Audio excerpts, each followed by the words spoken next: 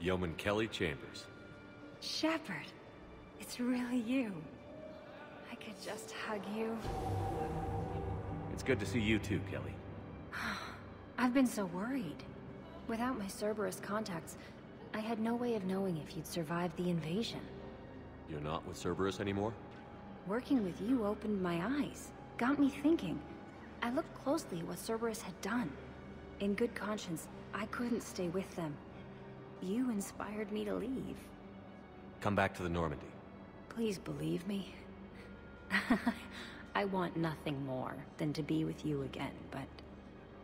I can't. Ever since the Collectors abducted us. I relive it every night. I see Joker running out. Then that cold hand pulls me back. They're above me. Around me. They stuff me into that coffin, and...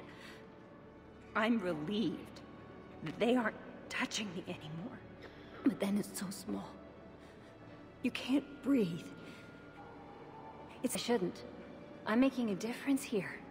If there was ever a reason I studied psychology, it was to help people at a time like this. Didn't think Cerberus liked people going AWOL. They don't. But Cerberus has more important things to worry about than me.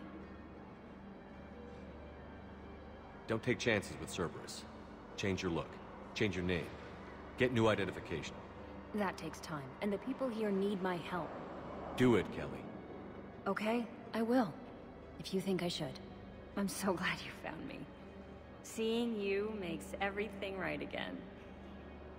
Oh, and your fish. Nobody was gonna take care of them with you in custody, so I saved them. I'll send them back to you. Oh, I need to run. Please be careful.